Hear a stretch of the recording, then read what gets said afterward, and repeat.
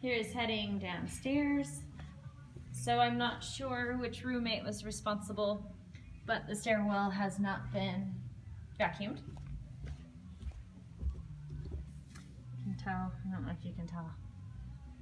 But we will go ahead and vacuum that. It looks like Christmas tree remnants are here.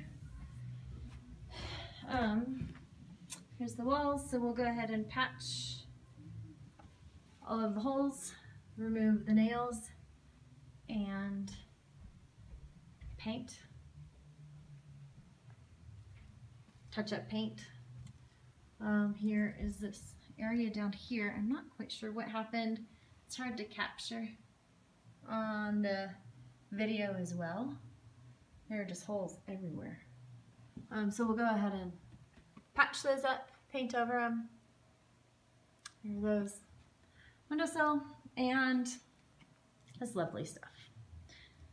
All of the roommates' belongings are still here. So uh, I've so kindly threatened to throw it all outside in the mud and snow. Because it's hard to move in when he hasn't moved out.